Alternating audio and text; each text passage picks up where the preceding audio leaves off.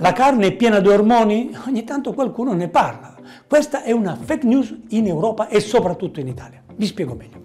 Il problema degli ormoni serve agli allevatori, soprattutto del, dell'America, del Sud America. Loro danno questa carne piena di ormoni che poi diventa molto morbida, molto gustosa.